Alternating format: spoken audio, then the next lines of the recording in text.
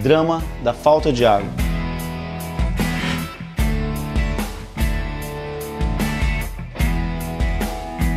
No nosso governo, nós vamos resolver o drama da falta de água e não vamos levar quatro anos para fazer isso. Vamos fazer logo no primeiro ano, em 2017. Tudo bem, pessoal? Aqui é o Leônidas Leitão. Vira o vídeo aí do hábito aí falando sobre a água na, nas eleições aí e rodou esse vídeo aí, passou até eu nessas imagens aí, mas é uma consequência, infelizmente. Eu acredito que o Abdo realmente queria consertar, queria arrumar, resolver esse problema crônico aí é, da água em 2017 mesmo. Portanto, acontece problemas aí durante a, a, a, a, operação e acaba que não dá certo. Infelizmente, isso aí nada mais nada menos é uma consequência, nada mais. Lá no grupo Tribuna Popular, que é o grupo que a gente gerencia aí, as pessoas estavam realmente revoltadas, porque o problema hoje em Jaciara é a falta de água.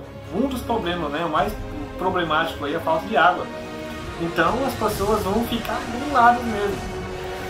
Sobre buracos, daí vai lá, deixa lá, né, deixa aquele, aquele monte de coisa mais horrível, aquele buraco de terra lá e vai embora, e não dá assistência nenhuma depois. É, eu mando mensagem pro Dai, pro Daí do Dai, mando mensagem pro Jane, e simplesmente, como vocês estão vendo na imagem aí, a gente fica no vácuo.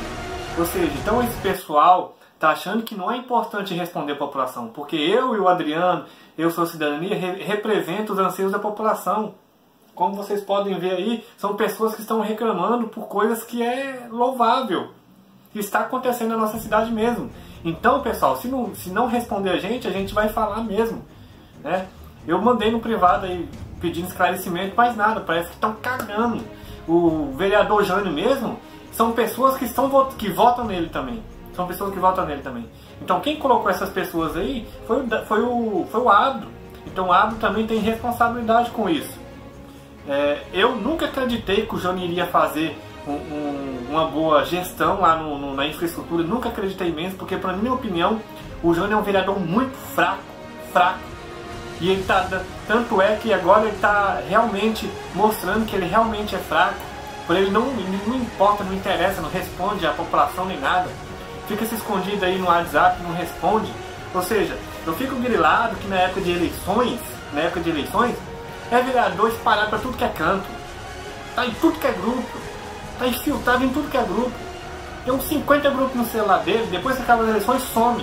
Eu não estou falando só do Jânio não, estou falando de vários vereadores. No nosso grupo lá tem o.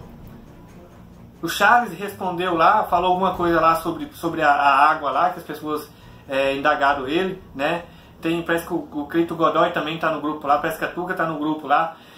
Então, assim, esses vereadores somem, somem, né? E não respondem à população, a obrigação de vocês fazer isso, responder também.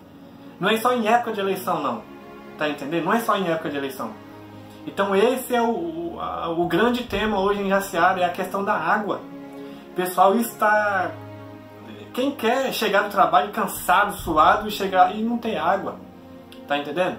É, então a gente vai fazer matérias mesmo, falando sobre água também. E se o Dai, ou o Jânio, ou até o Aldo não quiser responder a gente, sinto muito.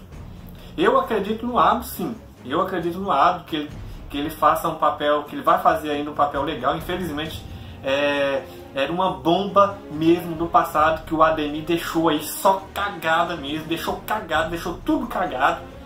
Infelizmente foi dessa forma mesmo, tá? Que deixou o DAI sucateado, destruído. Esses vazamentos aí também é coisa do passado também, não adianta é coisa do passado mesmo. Pecou, pecou pecou e agora é consequência. Esses vereadores antigos que está aí também foi falta de fiscalizar, falta, falta de ser um pouco mais presente com a população. E essa é a realidade. Essa é a realidade. Então, infelizmente, a população está sofrendo. Está sofrendo e vai sofrer mais, beleza?